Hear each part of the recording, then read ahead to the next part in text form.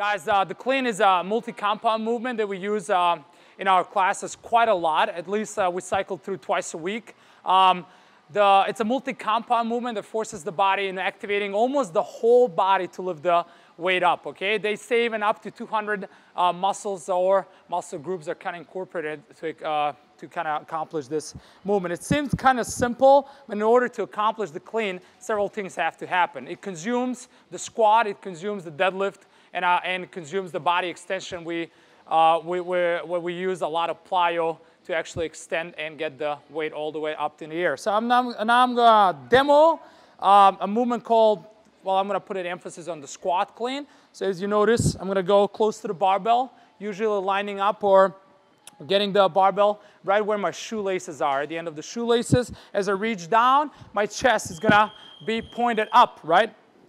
As I reach down, my knees are also a little bit over the barbell. We call this the hook grip. So the way I'm holding the barbell is holding my thumb. So holding my thumb, not the actual barbell, that maintains my arms a little bit loose, right? As I start initiating the lift, I'm gonna move the knees out of the way. As I explode, I'm gonna pull myself into a full squat and squat all the way up. I'm gonna repeat that one more time. As you go off the ground, look straight, move the knees out of the way, catch, squat all the way up.